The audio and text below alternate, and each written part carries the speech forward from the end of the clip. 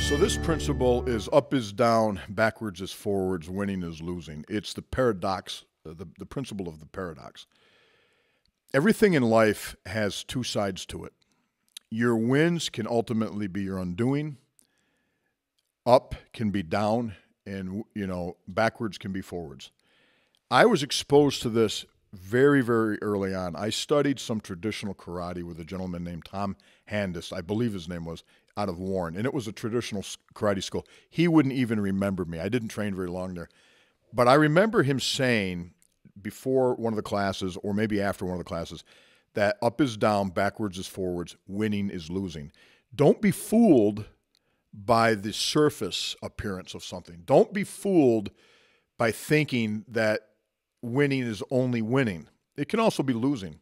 You know, there's an old adage that says you'll always learn more from your losses than you do from your wins because it causes you to reflect back. I've got a lot of people that I've met in my life who've suffered through cancer and heart disease and and a lot of times when they get on the other end of it they'll say, "Well, it was the worst thing and the best thing that ever happened to me."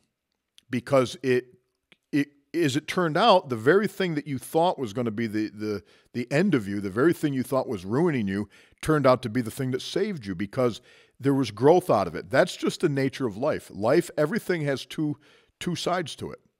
For every, for every victory, there's going to be a defeat. Everything has two sides. It's the duality of nature, it's the duality of your life.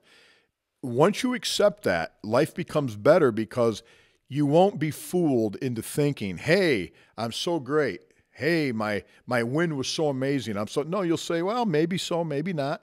And the same is true when things when when uh, when the bad stuff comes, when the darkness comes knocking on your door. You're going to be more apt to say, "Look, I know it appears bad now. I know it feels like there's no hope.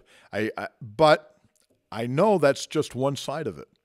This is probably putting me in a situation where I'm going to make a step. I'm going to move myself into a better place. So it's a more balanced way of seeing your life, but it is the it is the truth.